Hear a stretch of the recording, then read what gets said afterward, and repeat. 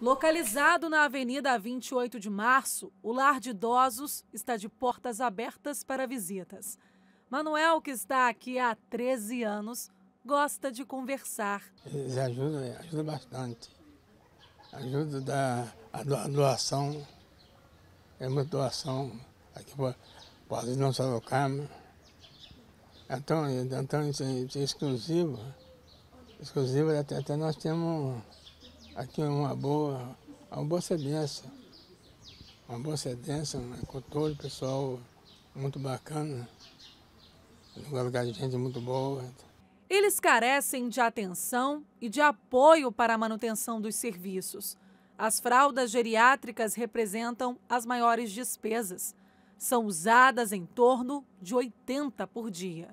É, hoje a gente está com 78 idosos, né? E com isso a gente aumentou a demanda desses itens. Né? E a gente tem bastante dificuldade com relação ao atendimento desses idosos. A gente aqui dá toda assistência aos idosos. Né? A gente tem médico, fisioterapeuta, psicólogo, né? toda assistência com os idosos aqui, remédios.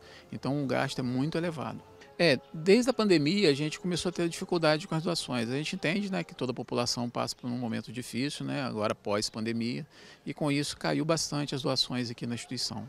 Os gastos da instituição aumentaram de forma expressiva nos últimos dois anos. De 52 idosos, o asilo passou a cuidar de 78. No mesmo período, as doações e as arrecadações caíram pela metade.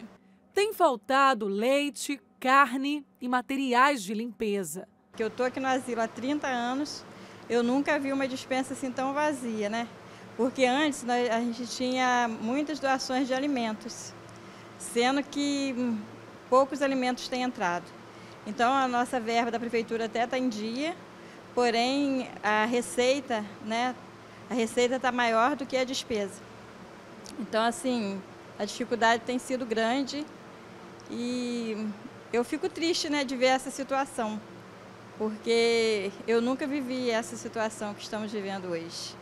O asilo recebe uma verba de 66 mil reais da Prefeitura de Campos, mas não consegue cobrir o total da folha de gastos mensais. A gente tem uma despesa aqui em torno de 110 a 120 mil reais mensal. Né? A gente tem um repasse do município de 66 mil reais.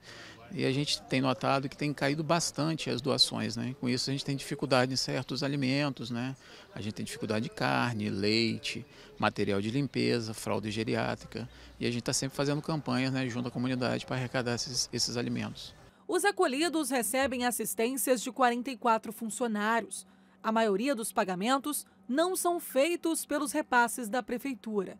Diante desse cenário, também são promovidos eventos de arrecadação, como um churrascão que acontece no dia 9 de outubro. Para a gente dar uma melhor qualidade de vida a esses idosos aqui abrigados, né? O município vem fazendo a parte dele, fazendo o repasse, mas como eu falei, é, não consegue atingir o valor de, de nossas despesas. A gente precisa da comunidade participando. A gente terá o, o, evento do churrascão nesse domingo, né, a partir das 11 horas. É importante a participação da comunidade, que venha participar, que traga as doações. Né? É muito importante a comunidade estar presente aqui no Asilo do Carmo.